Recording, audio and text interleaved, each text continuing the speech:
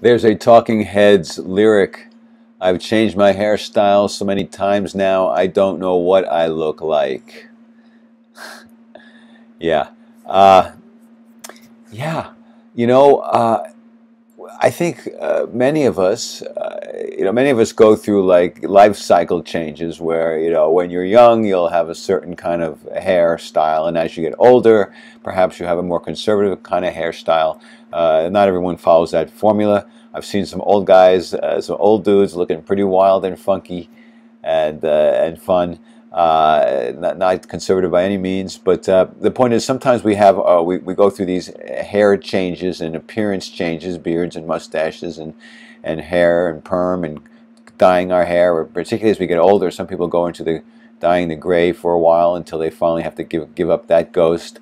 Uh, but uh, but the point of this uh, discussion is, you know, maybe we should just change our hair, change our, our appearance, change our, our, our style of clothing every once in a while, dramatically, uh, dramatically.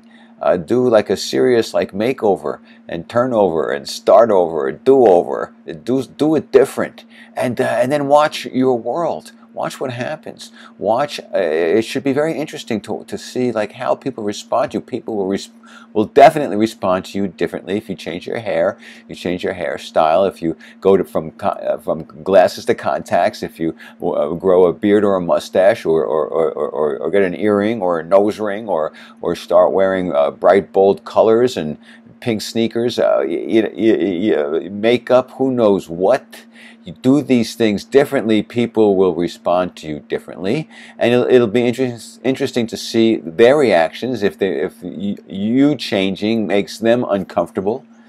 Uh, maybe they'll say things to make you want to like go back to the wearing and looking the way you were.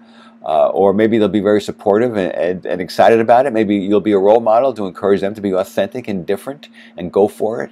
Uh, so you, will see your friends and acquaintances and strangers look at you funny, look at you differently, some admir admirably, maybe others with derision uh, and disdain, who knows. And then, then you can also look at yourself, look at how your self-esteem and how you react to the reactions of others and how, you know, uh, how do you react to looking in the mirror? Uh, do you act differently because you look different?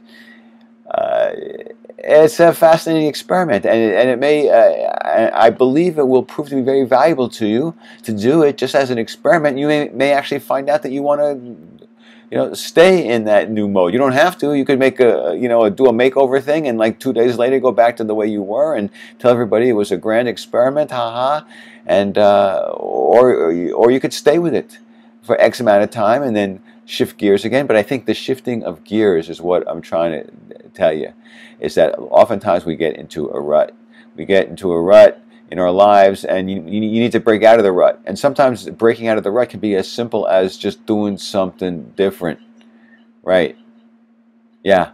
Uh, doing something different, something observably different, and then seeing your reaction to it, seeing your uh, uh, other people's reaction to it, see the world's reaction to it, see how, how your life changes or uh, or, or stays the same because of it.